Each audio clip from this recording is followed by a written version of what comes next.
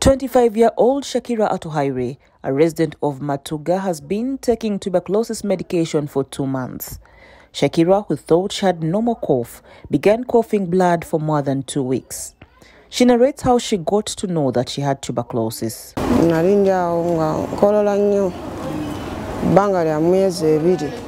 I coughed for two months, but I didn't think it was a serious condition. I used to gate and pick locks drugs over the counter. But after some time, I started to cough blood. That's when I went to Mulago Hospital and I was told I had tuberculosis. She will be well in a period she's not aware of. Dr. Ojambo Flavia, a medical officer at the National Medical Tuberculosis Unit, says many patients are like Shakira because they cough for more than two weeks and think it's just a normal cough. Treatment of tuberculosis has a lot of barriers and challenges. Dr. Flavia explains the most common barriers that need attention. The barriers of TB treatment cut across. One of the first things I would talk about is so many things affect patients, especially coming for treatment. One is that some don't even know what TB is. Some do not know information. They have limited knowledge about TB. They will have symptoms for a while and they will be sick. They come in when they are sick for over eight months and they have visited all other alternative sources of medicines and other health centers mm. until they are not fine anymore, then they would think about tuberculosis. So I would say there is a knowledge gap in, in us, the community, um, the community doesn't know where to access TB treatment from. So TB is always attached to HIV. The other misconception everyone has is that only HIV patients get tuberculosis. However, tuberculosis, everyone is at risk of having tuberculosis. HIV just increases your risk of having tuberculosis. So like any drug, TB drugs also have their side effects. And since we take them for quite a number of months, they also have the side effects can be very severe at times. Dr. Flavia explains that different types of tuberculosis one should be aware of. Drug resistant TB is when the TB germ continues to grow even in presence of those first line drugs. It will still continue to grow. That means that drug, the drugs are not working on that TB germ. So that means we have to now go to a second line of defense which we call the second line drugs. Okay?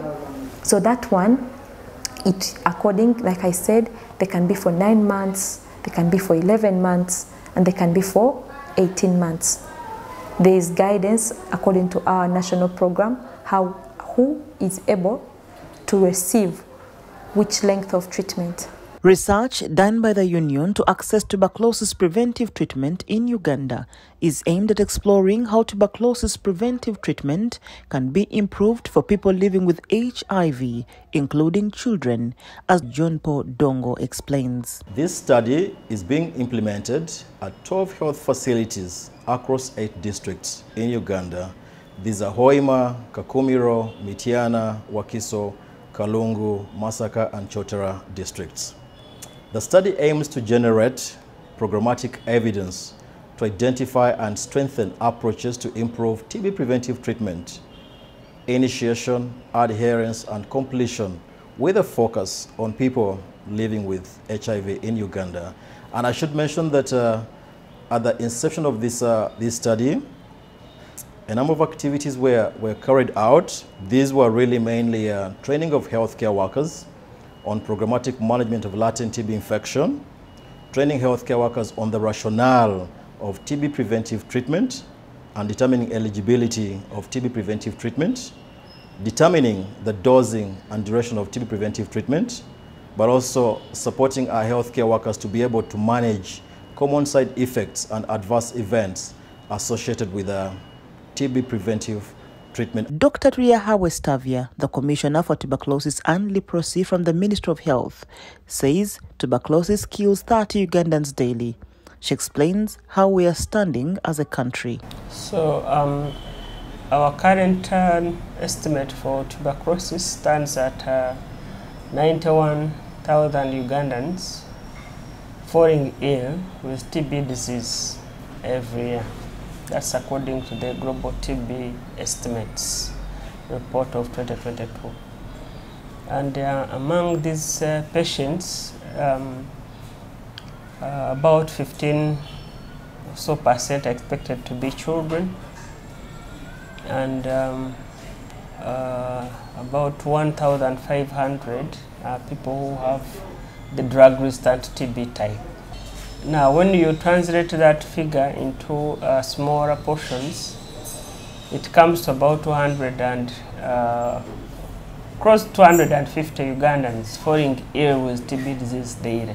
Dr. Stavia explains how tuberculosis is spreading at a very fast rate and urges Ugandans to be on the lookout. Uh, let me first make it clear that tuberculosis, whether drug resistant or drug sensitive or susceptible TB, is curable.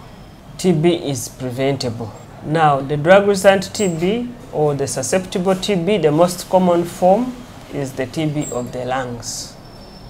And when people get it, the most common symptom they will get is a cough. But you can have other symptoms or you can have no cough in case the TB is not in the lungs because TB can affect you in any other part of the body. According to the World Health Organization, a total of 1.6 million people died from tuberculosis in 2021, including 187,000 people with HIV. Worldwide, tuberculosis is the 13th leading cause of death and the second leading infectious killer after COVID 19, above HIV and AIDS. Report compiled by John Musenze for the news.